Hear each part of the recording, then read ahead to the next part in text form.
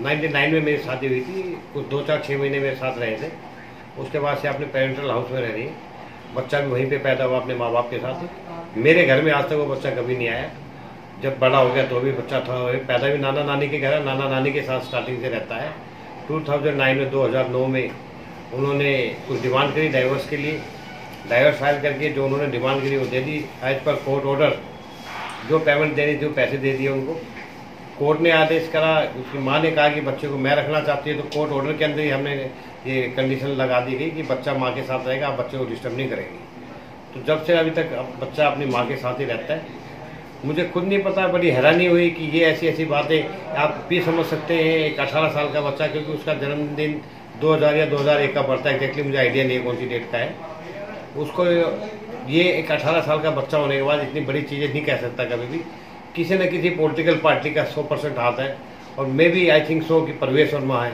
क्योंकि जो उनके एक मित्र हैं, मैं अभी नाम नहीं बता सकता मीडिया के सामने, जो उनके मित्र हैं, उनके फादर के मित्र हैं, वो बीजेपी के, उसी दिल्ली के समय बादली के रहने वाले बड़े खास हैं, वो परवेश वर्मा जी के खास हैं। जब आज सिचुएशन ऐसी है कि वेस्ट दिल्ली के लोगों का, बड़ों का जो प्यार, आशीर्वाद मिल रहा है, उनको क्या फील हुआ मुझे नहीं पता। ये सब चीज़ें ज़बरदस्ती ला के उसको पैसे दिए होंगे, नहीं दिए होंगे। सेकेंड थिंग क्या है कि वो बच्चा ये कह रहा है कि मेरे आज से डेढ़ दो साल पहले मेरे को उसका फ़ोन आया कि पापा मुझे लंदन जाना है स्कूल की तरफ़ से। उसको कुछ डॉलर पैसे की टिकट के लिए पैसे ज़रूरत थी तो उस टाइम मैंने उसको पैसे दिए थे उस अब फिर तीन चार महीने पहले एग्ज़ाम से पहले, उसने कहा कि मेरे को यूएसए पढ़ने के लिए जाना है लॉ करने के लिए। तो मैंने कहा, बेटा मेरे तो इतने पैसे नहीं इंडिया में कर लो। कह, नहीं, मुझे यूएसए लो के कुछ पैसे चाहिए। मैं कहा, अभी अवेलेबिलिटी नहीं है। थोड़ा वेट कर लो। जब तक तो देखते हैं, जब ज़रूरत पड़ेगी तो। उससे आई थिंक सो या तो उस चीज़ से नाराज़ हुआ, क्या हुआ? मुझे ये नहीं पता ये छः करोड़ का वो मुद्दा कहाँ से उठेगा छः करोड़ रुपये होंगे नहीं है कि एडवोकेट छः करोड़ रुपये ला ही नहीं सकता कहीं से भी। सेकेंड थिंग ये पैसे का इशू लेके किसी को भी यूज़ करना। ये आप समझ सकते हैं कि एक बच्चे की इतनी अच्छी स्टेटमेंट जैसे पढ़ा के तोते की तरह वो बोल रहा था कि उसको किसी ने कुछ समझाया गया। देखिए, पहली बात तो जो भी केस है, आप बताएँ सज्जन कुमार जी का। कोर्ट के अंदर चल रहा है, वो आज से चला बहुत पुराना केस चल रहा है। मैं आप मीडिया के माध्यम से कहना चाहता हूँ, एक प्रेजेंस अटेंडेंस कोर्ट ऑर्डर वकालना में कोई रिकॉर्ड ऐसा दिखा दे जिसमें कभी सज्जन कुमार जी के लिए, मुझे ये नहीं पता केस चल रहा है क्या चल रहा है, क्या नहीं चल रहा। सेकंड थिंग बहुत से केसेज ऐसे हैं जो इस टाइप के केसेज में करता ही नहीं। जो धर्म से रिलेटेड है कास्टिज्म से रिलेटेड है, वो केस में करता ही नहीं, किसी के भी।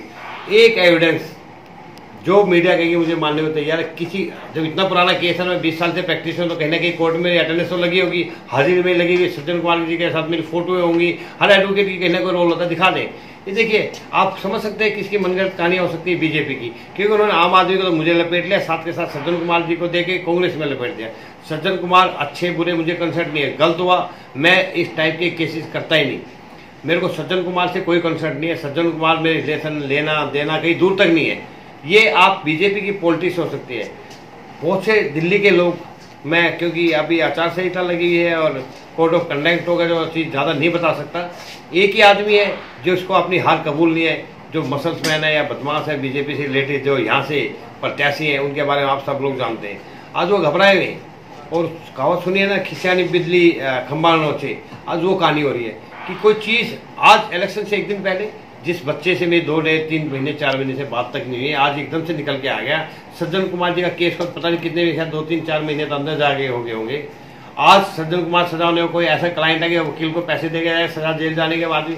उसके नाना लेते होंगे पैसे, ही हो सकता है कि पुलिस ऑफिसर है उनके, उसके नाना है उनके परिवार में कोई लिंक ऐसे होते हैं मेरे ऐसे लिंक नहीं है। आई थिंक सो कि जो यूएसए नाम के उसने पैसे मांगे थे मैं मना कर दिया। उसके साथ बीजेपी के पास किसी न किसी आदमी को वो मिल गई और उन्होंने नए आप कभी समझ सकते हैं कि अठारह साल के बच्चे से जब जिस आदमी से मेरी बात दो दो तीन तीन महीने में होती है मैं ऐसे डिस्कस करूँगा। अपने परिवार में कर सकता मेरे ब्रदर कर सकता था या मेरी वाइफ हो मेरे फादर तो मैं मान सकता था ये चीज़ें।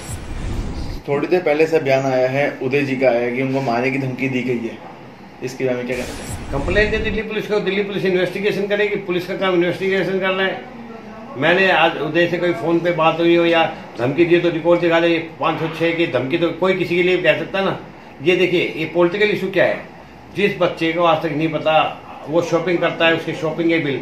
आईफोन लंदन गया था, वो जो कोई घड़ी आती है जिसमें फ़ोन लगता है आईफोन का।